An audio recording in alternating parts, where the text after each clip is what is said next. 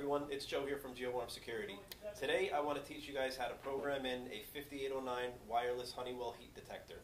Alright, what this is, this actually is a, um, it's a rate of rise for 15 degrees per minute. What that means is if the temperature goes up 15 degrees in one minute, this will go into an alarm, or if it hits 135 degrees or more, this will go into alarm. So all you're going to do with this is you're going to turn it counterclockwise to open it. All right, comes the battery in the box. Goes in right here. And this right here is the programming serial number. All right. So what you're going to do is write that number down before anything. Put your battery in. All right, and then you're going to notice on the mounting bracket, there's the two slots where it fits right into. So you put that on, turn it clockwise, and that's it. So what you would do is mount this first, where you're going to put it in your kitchen or in your garage. Take down the serial number, put everything back together. You're ready to go. Then what you're going to do is you're going to go over to your panel, and we're going to go into programming. In order to go into programming on the bottom right, you're going to hit More, Tools, and your installer code.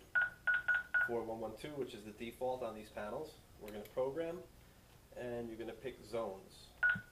So from here, we'll program it into zone 2. All right, you're going to edit, and we're going to put our serial number in here, which again is a seven-digit serial number.